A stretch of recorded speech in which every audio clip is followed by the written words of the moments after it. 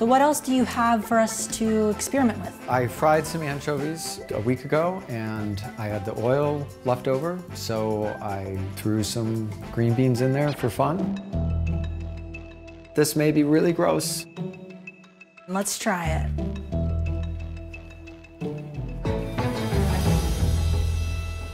Yeah, that's pretty good. this might be my favorite. We're going back to school. We're here in Eugene at the University of Oregon with Christopher Hendon and Doran Pennington. Today we're going to be working on a bunch of different experiments that are going to push the industry of coffee and the industry of beverage as a whole. We're in the Willamette Hall atrium. This is kind of where a bunch of different science buildings connect.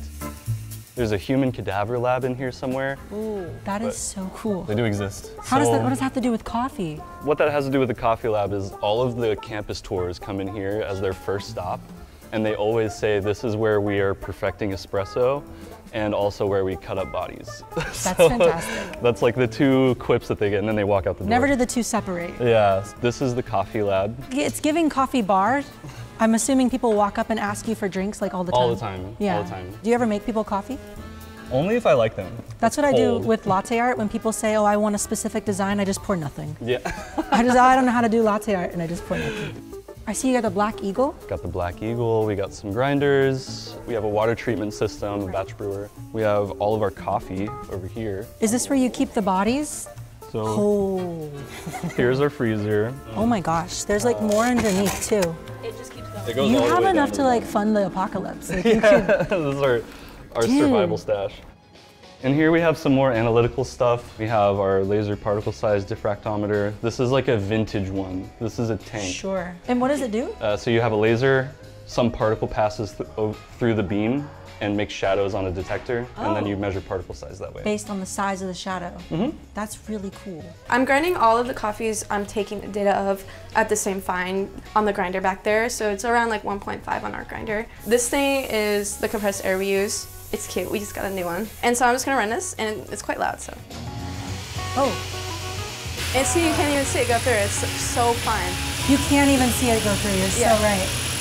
All right, and so it's on this peak right here. So this is like the super small fines and then a lot of bigger fines. Mm-hmm. And so we are sifting out exactly this piece right here and smaller, What this shows you is that actually the fines dominate the surface area. super tiny Comes little from fines, fines. which And like you can't even see in here. So we're using this to help us understand if there's a different way to make espresso than the way that we currently do. So basically, what we're doing back here is electrical impedance, and that's this setup. That basically pumps amps through the water at different frequencies and then measures the resistance of the, the solution. Essentially, you're trying to find a value for the TDS through the conductivity, or Yeah, basically. You oh, can relate them to one another. So people care about this a lot, for example, in batteries. This is the exact same thing, but what is this going to do to the taste of my coffee? right? Which is arguably much more important to society. I, I think so I think too. so, yeah. We can ditch batteries. They don't even let you take them on the plane. yeah. Does it make a smiley face when it's done? I'm just. I wish. I'm like, that would make it so much more rewarding. bing. it could be The composition of my water was happy, I guess. I don't know. This is a, a lot, and you seem very passionate about it. How did you find yourself in this world? I came to the UO as a chemistry undergrad and I registered a little bit late, so I couldn't get into any of my chemistry classes unless I took this thing called a FIG, which Chris just so happened to teach.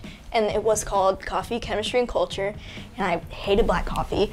And so I just showed up and I was like, Chris Doran, like, can I get like an internship or something? And then they all laughed at me. Just They're like that? Just like that? They just laughed and they were like, uh, just come do research. Yeah, you just show up Yeah. and start doing it. And so that's how I got you here. You have to inject yourself. So it's actually not like that big of a lab, but you have everything really contained, hidden, Yeah. kind of like inconspicuous. It's kind of fun because then I get to do barista cosplay. You know, I don't have to wear right. I don't have to wear like a lab coat and the glasses Sure. and No, look you insane. don't an yeah. apron on. Yeah, no, I just put put my music on, That's right. make coffee. Coffee hour Coffee hour. So twice a week, we serve coffee to people for free. We just batch brew it, and it's a good opportunity for us to get to know people. It's like a nice break for a lot of the grad students around here. So anyone who's in the university just comes and they, they people can walk in or- off the street. I mean, we've had people come here because they heard about us on the radio. This is a really cool thing. You have a lot of people here. It's like imagine if your favorite cafe was also where you work. Because we're in this building where all of these different science departments kind of intersect, it brings a lot of different people in here. So It really is like a central hub, like Yeah, because they literally all lead to the same place. it's like in a video game where you die and you just like respawn right here, and it's like That's safe. funny. Yeah. You want to do a little latte art throwdown with me? I'm gonna have Chris judge. Let's just do any pour you want. This is like in the movie Santa Claus. If you defeat me, you become me. Oh wow! And then I You host become the a rest of world the champ. That's Yeah. exactly what happens. Yes. let's go. Let's get competitive. All right, Where's your all cup? What are you gonna pour him? Much in the same way that I approach science, I don't like to plan it too much. Oh, I'm just gonna vibe it out. that's fair. Looks gorgeous. Looks gorgeous. It looks really good. Oh, that's really good, Doran. Like classic. That's actually really beautiful. It's pretty good.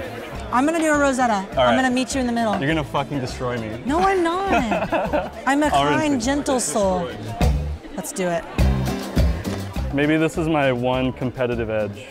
This is where you can sabotage me if you really want to. I wouldn't do that. I know. Oh, I don't know, Doran. You might have beat me here. Yours has more openness. I don't know. A little more contrast. Oh, I got more contrast, but you got more shape in the inner leaves. This is a tough one. Symmetry of this one's bad. It is. This one, contrast is bad. This one has to be the winner. No, don't cry. It's okay. It's okay. Doran, it has to be. It just. It has to be. Cheers. Pink. I love the way this community just loves coffee. I love what you guys are doing. How did this all happen? 2014, I was involved in writing water for coffee. and I've I- read that book. You read that? Yeah. Maxwell and I were just thinking that there's a lot of science to do, and he convinced me that we should put that out there in the world. And then when everybody started reading this thing, I was like, well, there's a lot more people than expected. Coffee science is not that good.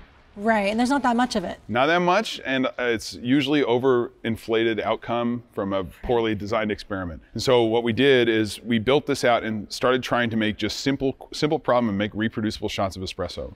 And if I can make this single shot taste good, and the next one also taste the same as the previous one, that actually has a trickle down effect that goes all the way back to the producer. You need an outside perspective, and that's like what you've tailored this entire space to be. That's what it is. That's so cool.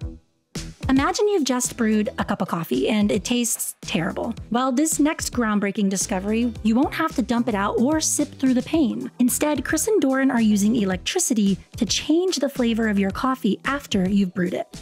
One time, we had all these samples set out. We are doing this type of work on it, and we went out the back and came back, and someone had drank one, just like a drive-by. They just took like the whole thing. Yeah, they just got it. They just It's took it. wild. And this is a instant robusta coffee. I can mm-hmm. smell it from here. Oh yeah. Roasty toasty. Roasty toasty, a little woody, a little fun. Mm-hmm. How, when's the last Like time an you drank old- this kind of coffee? It's been definitely over a year. Years. Okay. Yeah, I don't really tend to go for instants. So if you can make this taste good, that's a you know that's a valuable thing. That'd be groundbreaking. And so our working electrode is this carbon rod. Oh wow, you're doing this by hand? Yeah. Emily, how about you hold it? I'm not gonna get shocked. So you I? see this little coil? Okay. So just hold it by the little insulated part Sure. and just dip it down. For this coffee, we did a lot of testing to figure out what tastes good. And something that we liked for this coffee particularly is a negative voltage. You're taking flavors that have oxidized as the coffee is aged and you're reducing them back to their original form so they taste fresher. Right. But that's just a way to think about it. Chemically, is that exactly what's happening? It's gonna take more work to figure that out. It's almost like a time machine. Yeah, you could think of it that way. You're freshening the coffee somehow. So you have one without the effect and one with, and we're gonna taste the difference. We'll start with this one.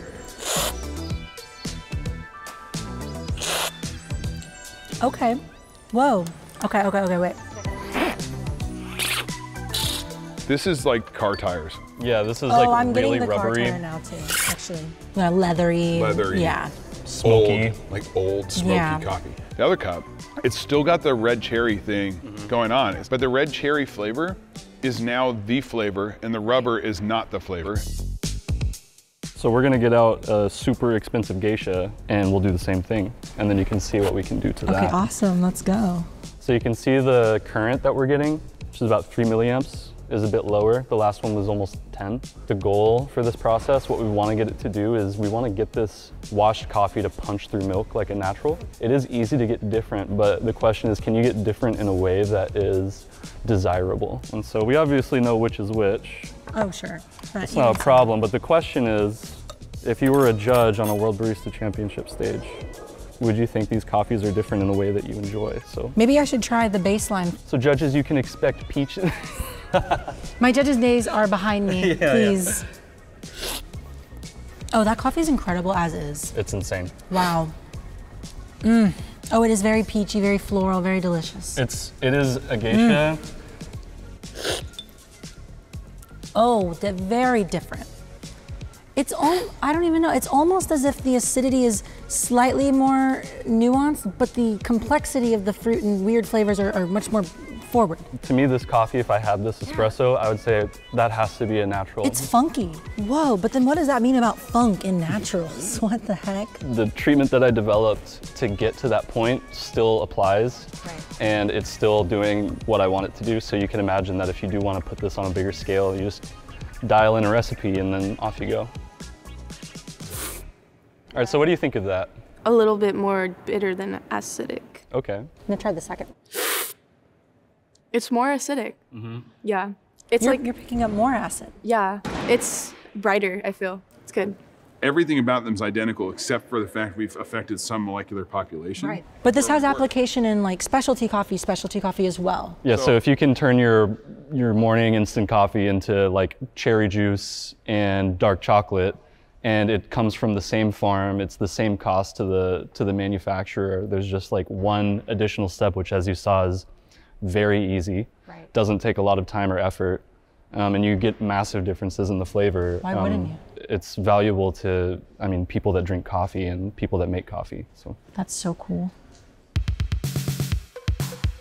Now we're here in the heart of Silicon Valley to experience coffee science with a bit more of a unique DIY style. We'll be visiting with Robert Aloe, aka Espresso Fun on Instagram, who's carved himself a very specific space in the coffee industry. He excites a lot of people with his experiments and pisses quite a few of them off as well. We're gonna go over to his house, tinker with some of this stuff in person, and taste the results.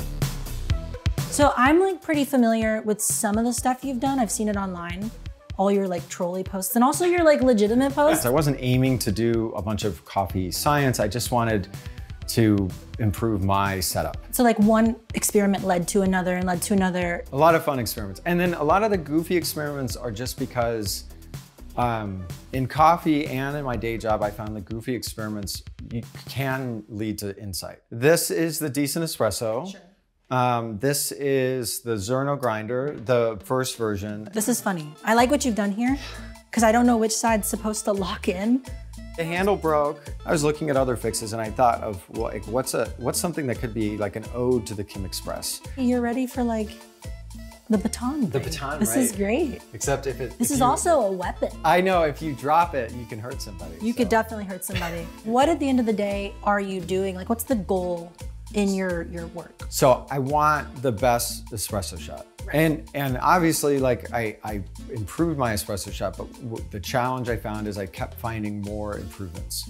But the paper itself, what was the point of using this? I saw them online, your paper stars. Yeah, paper stars. So then you put the star in there underneath the coffee? No, on top. And you want even temperature and even water distribution. Yes.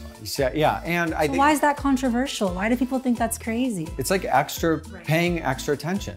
This is definitely a lot of technical. And I think like most people would be like, that's a little overkill just to make a cup of coffee, but you're just trying to make the best espresso you can and understand it. Right. Uh, we're gonna do the paper star on this coffee, so then we can pull another shot. So this came out more even. It did come out more even. It didn't come out on one side necessarily. Yes. Feels like a roller coaster. It is Cheers. a roller coaster. Oh, wow.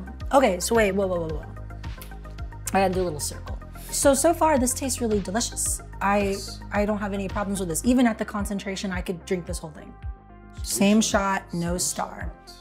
So this is gonna come out and we can see with this little mirror, if comes out one-sided. Oh, it really comes out one-sided. Really comes out one-sided. That's disgusting. Yeah. It's not too late. We don't have to drink it. No, we got to drink it. I know. A little astringent.